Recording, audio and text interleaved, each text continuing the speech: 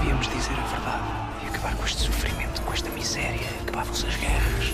Ainda há muita história por contar. Nós nunca podemos fazer tal coisa. A verdade iria matar-nos a todos.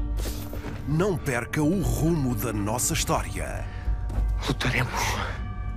A Rainha e a Bastarda. Esta quarta-feira, logo a seguir ao telejornal, A rainha não é santa! Então salve o meu filho! na RTP1.